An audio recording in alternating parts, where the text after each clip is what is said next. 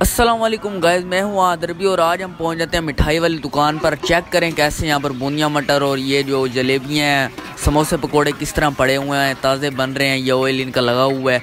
अगर आपने हमारे चैनल सब्सक्राइब नहीं किया तो बर मेहरबानी जाकर कर लें। लिंक वगैरह आपको नीचे दिया होता है कमेंट्स में। या आप देख लें कैसे बूंदिया मटर और जलेबियाँ यहाँ पर ताज़ी बन रही होती हैं तो हम भी अपनी जलेबियों का ऑर्डर दे देते हैं भाई को। बाकी आप यहाँ देख सकते हैं कैसे जलेबियाँ पड़ी हैं, नान वगैरह और हर चीज़ ताज़ी बन रही होती है तसली बख्श खाओ बैठ के अंदर। और थोड़ी देर में हमारी जलेबियाँ आ जाती हैं। कहीं हमें जलेबियाँ मिल गई हैं यहाँ से। बहुत ही ज़्यादा है, आप ज़रूर ट्राई करें। गर्म है, मैं एक पीस ट्राई करता हूँ।